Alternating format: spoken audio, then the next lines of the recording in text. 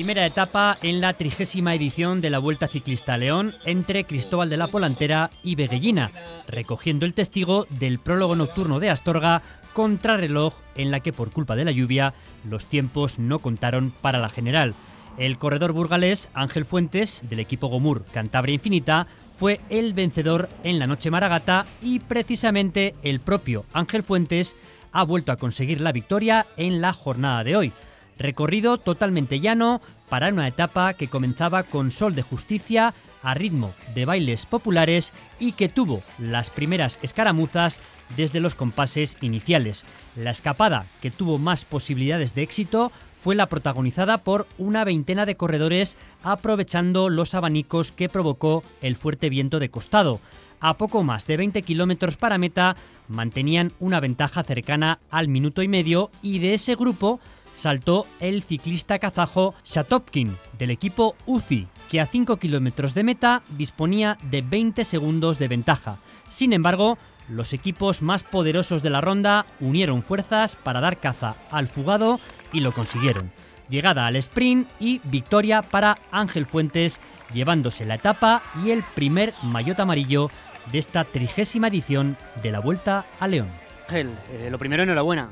Muchas gracias. Eh, una escapada que parecía importante del corredor eh, kazajo, pero finalmente le disteis caza, eh, sprint y te has llevado el gato al agua. Sí, eh, faltando 60 kilómetros se han ido 20-25 corredores, se han filtrado 5 corredores del equipo, la verdad que lo ha hecho muy bien todo el equipo y yo cuando se han ido los 25 corredores digo, ya esta meta no les vemos, pero bueno, se han puesto Lizarte con un par de equipos más a tirar del pelotón y les hemos conseguido coger y había que rematar con el trabajo del equipo y bueno, la verdad que se ha hecho y muy contento.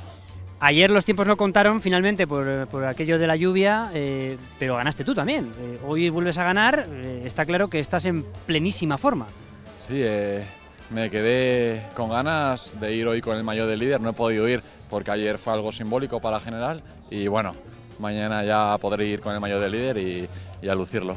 Con la conseguida hoy, Ángel Fuentes ha logrado ya tres importantes victorias en su temporada particular, demostrando que a día de hoy es una firme promesa en el ciclismo nacional.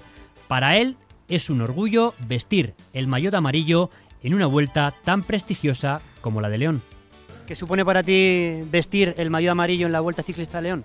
Pues estoy muy contento. La Vuelta a León, que es una de las grandes del panorama nacional en el mundillo amateur, pues muy orgulloso, muy contento. Se ve recompensado todo el esfuerzo de- del entrenamiento, del sacrificio, del cuidarse, del descansar y bueno, muy contento.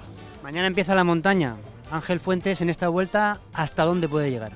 Bueno, yo soy un corredor que pasa bien la media montaña, pero en esta vuelta a León ya se habla de puertos de entidad, son puertos muy duros, tenemos corredores en el equipo que van muy rápido para arriba y bueno, yo veré dónde, eh, dónde llego y a partir de ahí a trabajar para el equipo. Lo dicho Ángel, enhorabuena y mucha suerte. Muchas gracias. Mañana comenzará la montaña en esta nueva edición de la Vuelta a León, con la etapa entre Los Cármenes y Boca de Huérgano, con un total de 153 kilómetros en los cuales los corredores van a empezar a sufrir.